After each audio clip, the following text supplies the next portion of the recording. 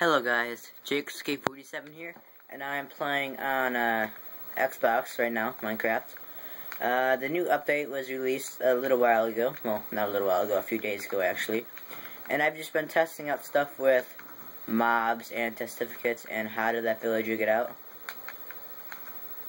I don't know, but um, here I started a little breeding room where the villagers would be breeding, so I got, it's gone pretty well for a little while. But then I also realized before that that you don't even need a door to build, to breed villagers. You just need a room where they can just stay. So I'm going to show you guys today on how to get an ocelot. So you would find an ocelot in a jungle. Now where's fish? Okay, let me uh, grab some more fish. It might take some more. So some of you guys might not have known this, but let me just do this. So there's my ocelot. You have to crouch. People say you have to crouch to do it. No, maybe it's cooked fish.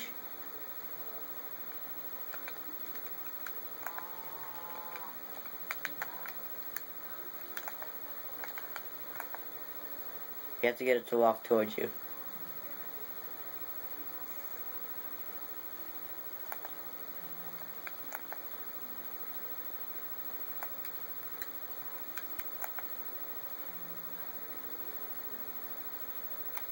Up oh, there we go. So you have to get it to walk towards you. And there's my pity cap. Let me see here. Let me get wolf and my bones.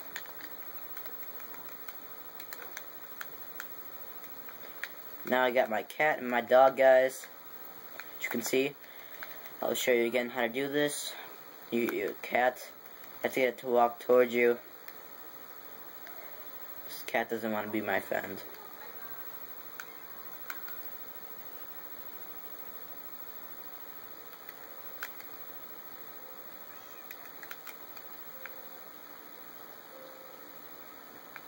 They need to see the fish, apparently. There we go. Takes one fish to cool. So I got two cats now. We now have 3D items, if you guys didn't notice, so let's say, okay, so I'll drop three of these. You can see they look 3D, but if I drop one in the middle, it'll collect on that one, so it is two items now, three items, four items, five items. So if you keep on throwing, they'll get thicker and thicker can see now they're getting even thicker.